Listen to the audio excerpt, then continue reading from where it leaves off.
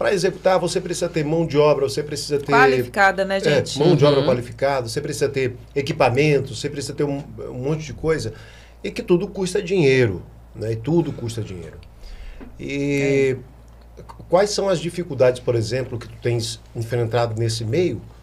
É, para conseguir realizar, porque a gente acaba vendo que é muita paixão uhum. que a gente tem pela coisa e a gente nem se dá conta de que são diversos obstáculos e o principal é esse, a captação de recurso, né?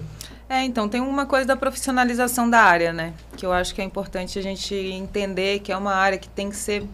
Não é só profissionalizada na, na parte da execução de cada campo de trabalho, mas de fazer o mundo entender que o cinema é uma indústria que gera muito dinheiro e lucro, né? Não é só gastação, vamos dizer assim, né? É, a gente tem resultados. Os filmes, os, os roteiristas de Hollywood fizeram uma greve lá de, sei lá, algumas horas ou dias e gerou um rombo de milhões na, nas faturas estaduais deles, né? Netflix com greve de roteirista não existe.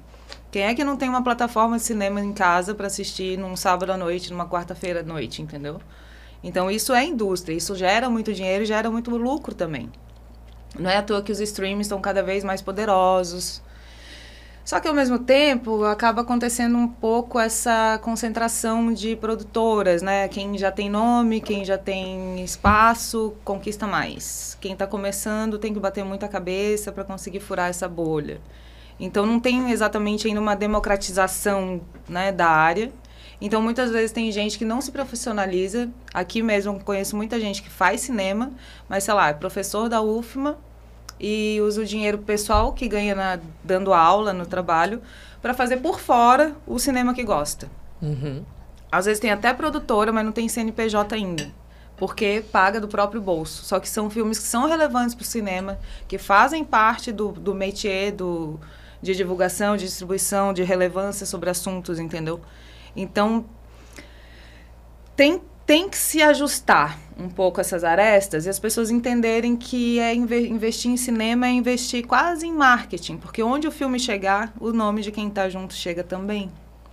E aí o Estado, que bom que agora está voltando o dinheiro da cultura, gente. Muito obrigada, sabe? Porque estava muito difícil.